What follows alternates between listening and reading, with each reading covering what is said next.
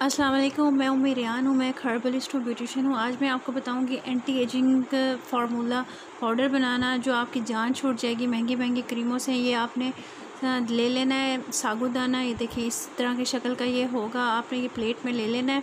आप पहले थोड़ा बना के देखिएगा, आपको इसका रिज़ल्ट विजिबल नज़र आएगा। जिनकी एजिंग साइंस नज़र आ रहे हैं, बिफ़ोर एज नज़र आ रहे हैं, स्किन पतली हो गई है, स्किन के बहुत सारे प्रॉब्लम्स से सॉल्व होंगे। और ये मैं, इसके अंदर मैंने ये बनाया हुआ है, जूस एलोवेरा का। एलोवेरा को आप ब्लेंडर में डाल के ब्लेंड कर लें, फ्रेश जूस आपने इसमें लेना है, आपने मार्केट वाला नहीं लेना। ठीक है जी, आपने इसको सारा डिप कर देना है। ये जो सागुदाना है, इस सारे सागुदाने को आपने इस एलोवेरा जूस के अंदर डिप कर देना है। पूरा ये डिप हो जाए। ये आपकी इतनी ज़बरदस्त पाउडर बनेगा ना, आपकी जान छूट जाएगी। महँगी महँगी क्रीमों से, महँगी महँगी चीज़ों से आप एक दफ़ा करके ज़रूर देखिएगा। ये तो सागुदाना सबके घरों में होता है। एलोवेरा आपके घर में है, ठीक है, वरना हम सौ के घर से ले लें, ये भी हर जगह होता है, लेकिन आपने फ़्रेश यूज़ करना है। आप एक हफ़्ता यूज़ कीजिएगा, ये आपने डेली लगाना है और डेली इसको हम लोग अब इसको रख देंगे धूप के ऊपर। कोशिश कीजिएगा कि स्टील की प्लेट लें ताकि धूप पे रखें तो नीचे से भी उसको हीट लगे, ऊपर से भी लगे और ये ड्राई हो जाए।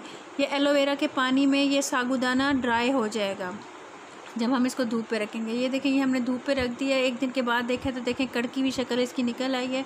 बिल्कुल ये एलोवेरा जूस इसके अंदर ड्राई हो गया और ये फूल गया था थोड़ा थोड़ा अब हम इसको क्या करेंगे? हम इसको ग्राइंडर में डाल के ना ग्राइंड कर लेंगे। ये देखें, ये बिल्कुल बारीक सा पाउडर बन जाएगा। इस पाउडर को हम लोग ड्राई मिल्क के अंदर मिला के हम लोग फेस पे लगाएँगे डेली आप एक हफ़्ता लगाइएगा। आप मुझे ज़रूर बताइएगा कि आपकी स्किन में टाइटनिंग आई है ब्राइटनिंग आई है, आपकी स्किन खूबसूरत हुई है ग्लोई हुई है कि नहीं हुई है। ठीक है, ये हर्बल रेमेडी मैं आपको बता रही हूँ, आपने ज़रूर यूज़ करनी है और मुझे ज़रूर बतानी है। ड्राई मिल्क के अंदर मिला के पाउडर को, इसको आपने फेस के ऊपर लगाना है पंद्रह मिनट डेली लगाना